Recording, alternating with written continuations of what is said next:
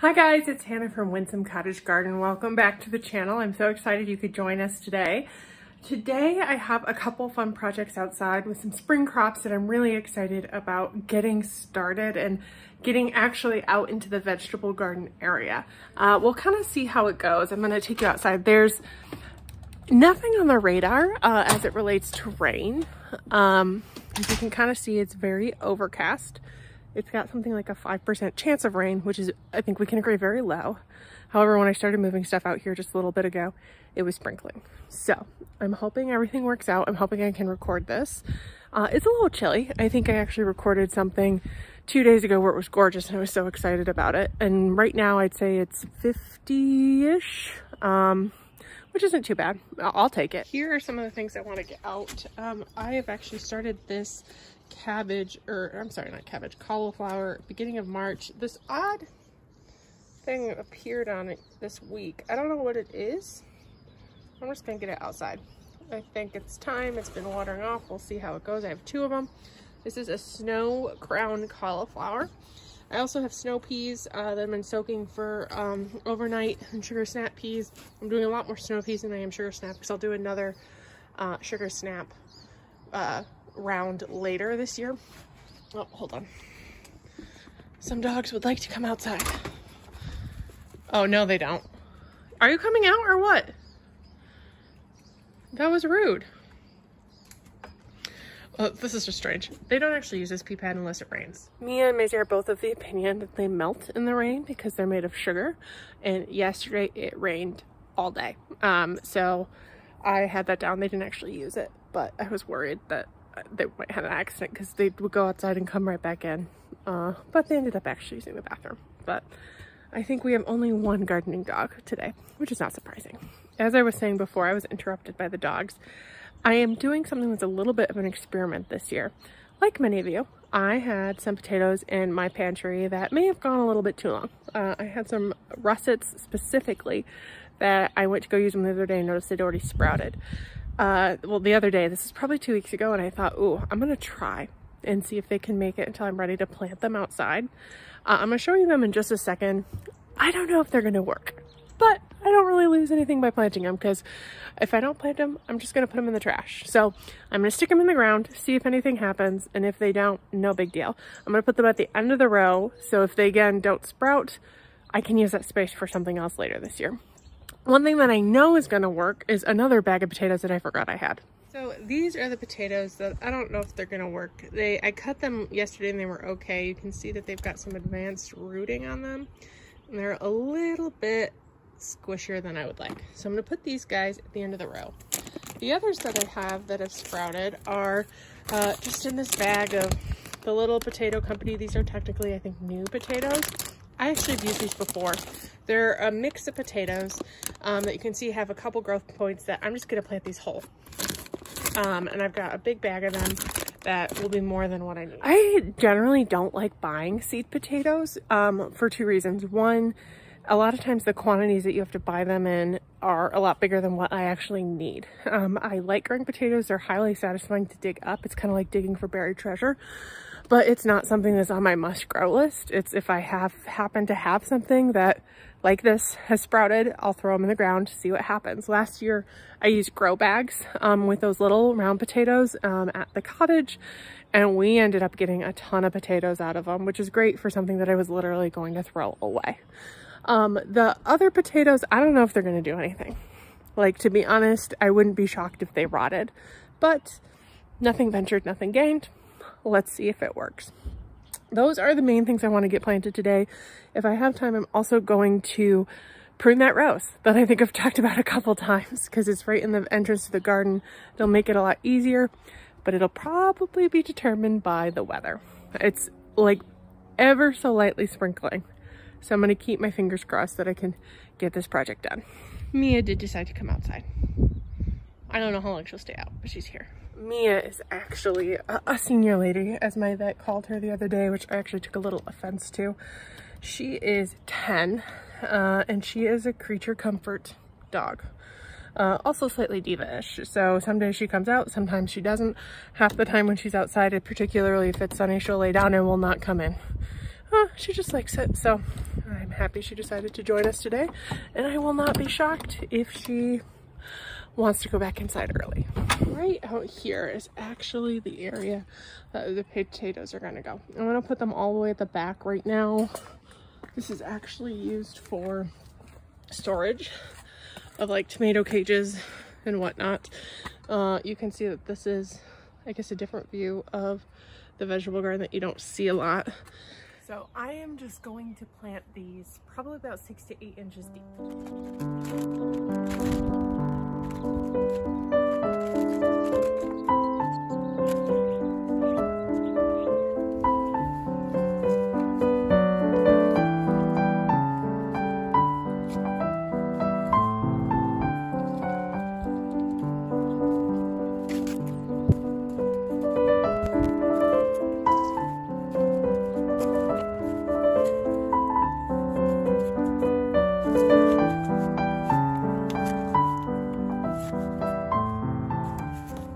up actually having a lot more than I thought and I filled this whole space with potatoes.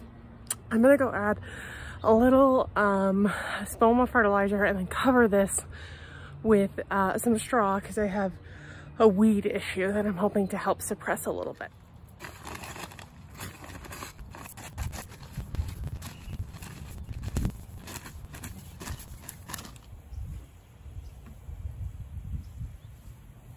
Um, I use Easy Straw uh, to just cover and help suppress weeds. It includes uh, a natural pine resin, which you saw me water down.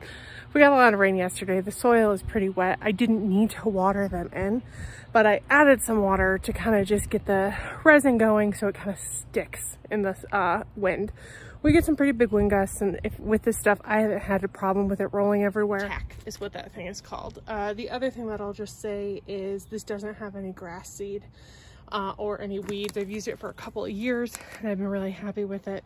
It's something that I've just bought at Lowe's. From there all the way down to this little red mark are those small potatoes, which will actually grow bigger than that. Those are new potatoes that were harvested early. And then from here on, I had enough of those mushy potatoes. I really don't know if those big ones are going to sprout. Um, they could be sometimes um, potatoes that are gotten from the grocery store have been sprayed with something to prevent them from sprouting, to stop people doing what I'm doing right now. Um, so if they don't work out, it could be because of that, or it could be because that I let them go a little bit too long. Uh, either way, I won't know if they're going to work until I plant them, so I thought I would just see what happens. Next up is actually getting those peas planted.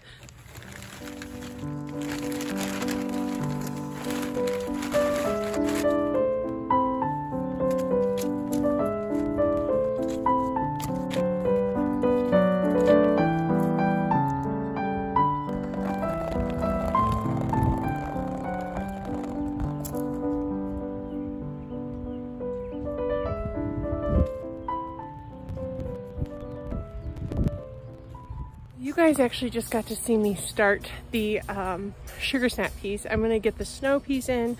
I also don't know if I mentioned this, but I'm going to be planting some bunching onions today. Uh, and I might start some kale as well because uh, they're all going in the same space. So here is one of the roses that I need to prune. Uh, and then you can see I've got this stretch. I'm going to put some kale right here that I might get started today. Then I'm going to put one tripod here in the space between bunching onions and another tripod here of um, snow peas. And then this area right here is where the cauliflower is gonna go. So I actually came inside and took a break for a little bit um, because it started like raining more than it had been. Um, it is still, I don't know if I'd call it raining. It's like heavily misting but it's a little bit much for the camera, so I'm gonna leave that inside. Uh, I'm gonna go back out because I wanna get it done and I don't have a ton of daylight left today, so I'm gonna set you guys up and hopefully let you see from a distance what I'm working on. And I've got my fingers crossed that um, so it'll stop raining and I can come bring you guys out and show you what I did.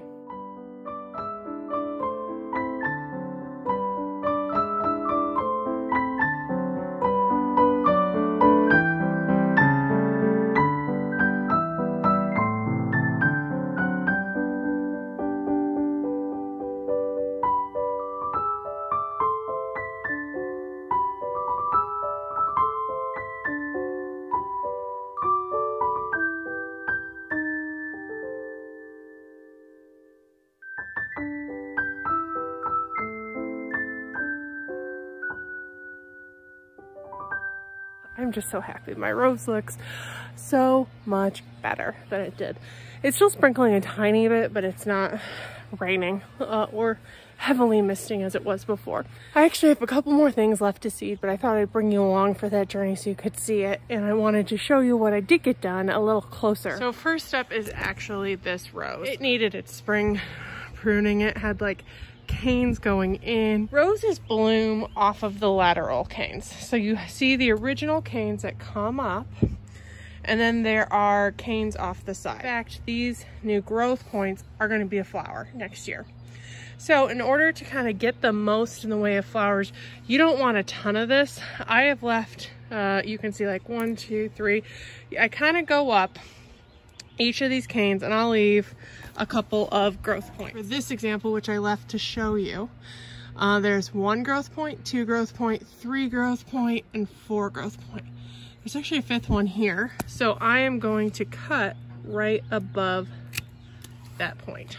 I've done that basically throughout this whole rose, taking off last year's growth and then winding the canes in my arbor. This rose, as you will see, is a lot more established. It's actually reaching the top in a couple canes than this rose. And that's because it just gets a lot more sun. This rose isn't bad by any stretch, but I left a couple on this one that I probably wouldn't have left on the other. The other thing that I you probably noticed was I have rose gloves that I highly recommend anyone use when they're pruning. It just saves your hands. They're leather, they're really thick, and they go all the way up basically to your elbow, and it just makes it a much more pleasant experience. They are thick gloves because they're protecting you, which means you lose a little bit of your dexterity, but it's worth it to prevent scratches. Um, so this rose is done. I did haul out some rose tone, which I'm going to apply to this area before I uh, fully put it to bed. Um, I pruned it because the last area I need to seed is actually a, a couple varieties of kale. And the kale is actually going to go right here. So I have a small patch that I do. Uh, it's kind of nice because this is a great area. It gets shaded a little bit, so it help prevent, helps prevent it from bolting in the summer and it's an odd shape uh, that I thought would fit in here. It also won't prevent anything uh, growing with the rose. Last year I actually put a tomato cage here with a tomato, which was a mistake.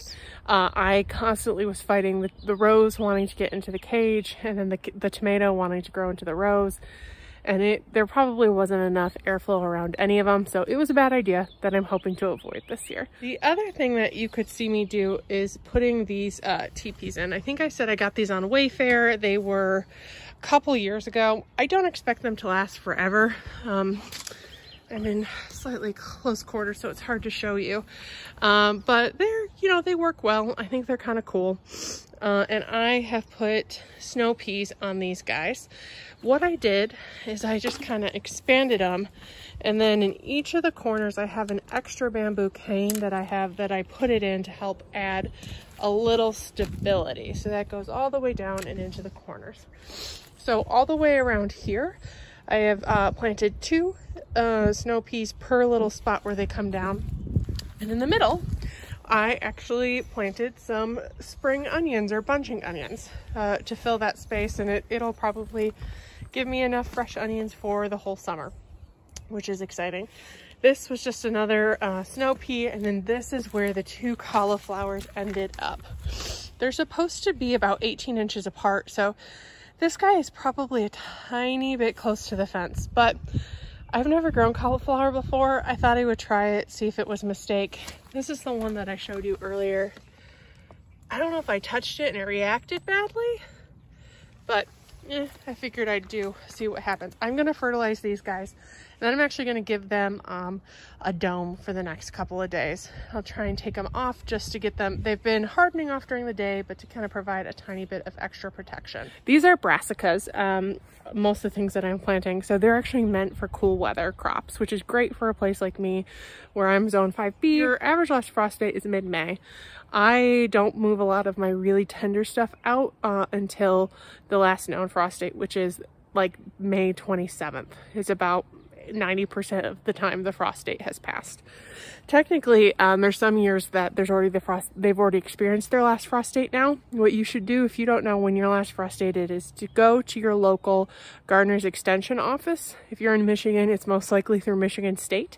And they have a list of, based on zip code or your closest city, when your last frost date would be, which really helps you decide when to put plants outside.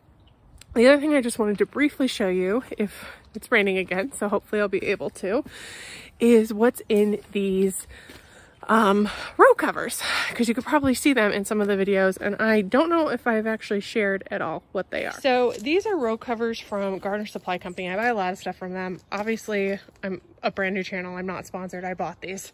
But um, these are their growth accelerator covers. I actually bought these to go on the um, water trough planters I have on my driveway for the cool weather crops.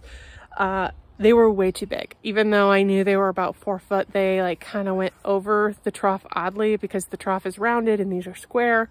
I didn't know how effective they would be. So I jerry rigged my own row covers as you've seen. Uh, and I'll link the video below if you haven't seen so you can see them. And then these guys, I was like, well, I had some um, anemone bulbs and bulbs, corms, whatever they're called, anemones. I also had a couple of ranunculus corms. I actually have spent a lot of time. Oh. I was going to say that there's nothing to see, but I think there is. So let's see. I am going to lift it to show you. Oh, and I guess I can show you how they go. These go into the ground. These just have, these have some loops in them. There's actually a lot more than I thought. Well, they don't look as impressive here, but if you look closely, you can see a lot of babies. I actually didn't plant these all that long ago. I'm gonna have to look up. Uh, but I think I have about 25 corms in here. Uh, and this is the bridal mixed ranunculus. I think I may have, so, oh, so excited about this. So the way these work, you can kind of see there's one right here.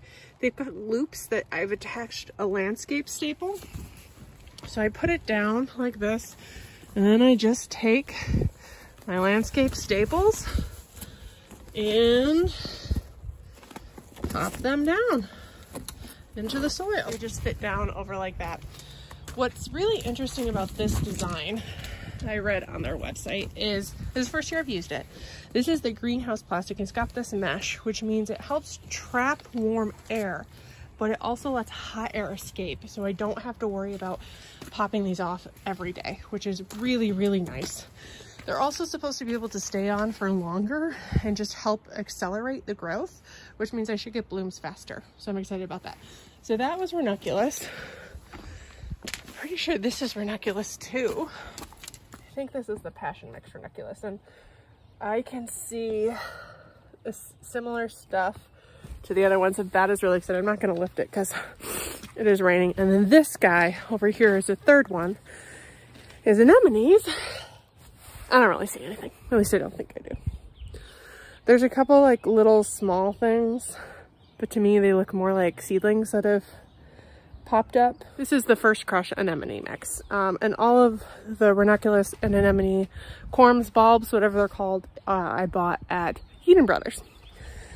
Um, yeah, so all that's left to do in this area is to add the little domes over the cauliflower, get this kale seeds in the ground. I'm kale seeds will germinate around 45 degrees uh, soil temperature. So um, my days are in the 40s and 50s, mostly 50s as of late, but I'm not sure.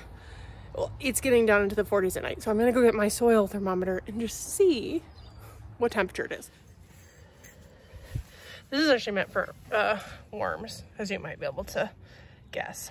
And you can see that it is dropping. The soil is above 50 degrees, which means they will germinate, which means I can definitely plant these now. Um, so I'm gonna plant two each of Ragged Jack and two each of um, Scotch Curled Kale and then one Dinosaur Kale. It is actually raining again. So what I'm gonna do is go stick you up somewhere else, finish up what I need to do and kind of hopefully be able to show you what the last thing looks like. So it's once again paused in the rain and I can show you what I did in the vegetable garden. But before I do that, I really want to show you what these um, driveway beds look like because I think it's only been about a week since I showed these to you and it's just it's so amazing how much everything has just sprung up. Isn't this just gorgeous? Um, you can see I've actually removed the covers because I only put them on when it drops below 40 at night and it's looking like a good chunk of this week is going to be above that. Uh, so you can see just how everything has popped up. Another reason I removed the covers is there was a little excess fabric right here that I think has stunted some of these guys. So hopefully um, they will pop up now that they've got some air. But like you can see here, the arugula looks fantastic. The mustard greens look good. These are radishes. Spinach is beginning to put on its first true leaves, which is exciting. This is a salad mix that was kind of old, so I'm not surprised that it wasn't great germ, but it's here. That's exciting. Some little gem lettuce. Also, they haven't changed much, but I really feel like this um, butter lettuce has. And look, some more true leaves. That's like a speckled kind that I really love. And I think it's just beautiful. And B, it's tasty. I planted them really thickly because I'm going to harvest them young and eat them, but then I can also let them grow up a little bit. Uh, and I don't know if I actually said this, but that, um, the straw that I use is actually main purpose is used in um, grass seeding. So it will it how it works is it helps create like a nice environment for germination and then they'll push their way through but it also helps prevent any seeds that might be in the environment from reaching the soil and will cut down on germination. So it really helps me keep up on weeding especially while the plants are young. Um, I keep my gardens covered with that um, food grade plastic uh, after I clean them up in the fall to just help keep weeds down because there's a lot of trees, there's a lot of other stuff around me, and it just makes life a heck of a lot easier and it keeps the soil nice. You wouldn't believe the number of worms that I came across today. It's beginning to look like a real vegetable garden. The rose looks better, I've already shown you that.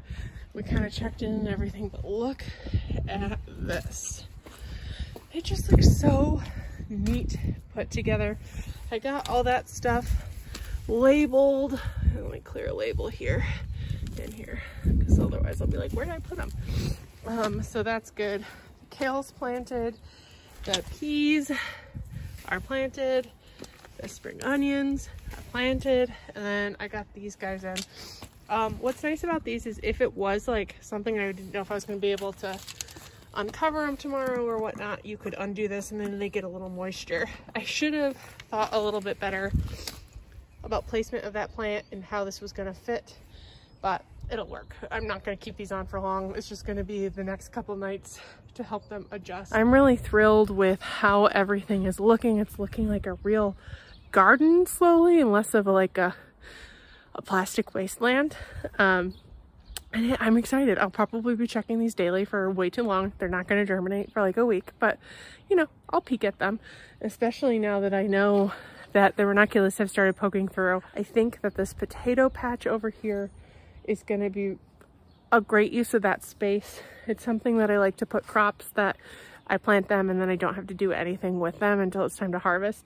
Last year I did corn there, which was kind of fun. I used the corn stalks in the fall, but it was a little bit much. I know it was a bit of an odd day. It's I actually don't know if I'm colder or it's warmer. I feel like it's warmer, but it could be just I've been out here way too long. Um, but I'm still thrilled that even though it was rainy and whatnot, I was able to get these things in the ground and get the clock started. Um, I've grown these for a couple years. I'm by no means an expert. I just am really enjoying and seeing what happens. And I wanted to bring you guys along too. So hopefully you guys learned something new and we'll be checking in on these things throughout the summer and I can't wait to see how they grow. Thanks for joining me guys today. I will see you in the next video. Bye-bye. I can't be the only one who does these because it's what's handy in the kitchen and then is like, ugh, I don't want all this dirt in my sink. But I also don't want to get the hose back out because I just disconnected it. So I'm trying to rinse them in the rainwater that's collected here. Okay, that's not bad. That can go in my sink.